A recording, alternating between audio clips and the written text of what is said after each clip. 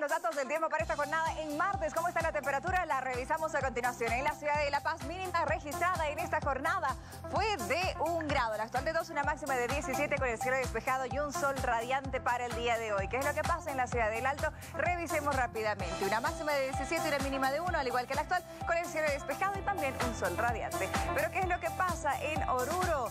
Buenos días, máxima 21, mínima 2 grados bajo cero. Las temperaturas van mejorando en todas las regiones. Mantenemos en el occidente y nos trasladamos hasta Potosí, máxima 18, mínima 4 grados bajo cero para algunas nubes en el cielo. Seguimos y nos vamos hasta Sucre, la capital del estado. Esta es una región valle, una máxima de 29, una mínima de 8 grados, con el cielo mayormente soleado. Pero ¿qué es lo que pasa en Tarija, el sur de nuestro país? Preste mucha atención, máxima 34, agradable temperatura, una mínima de 10, también con el cielo mayormente soleado. Y en el siguiente recuadro le presentaremos el comportamiento del tiempo los siguientes 5 días en la sede de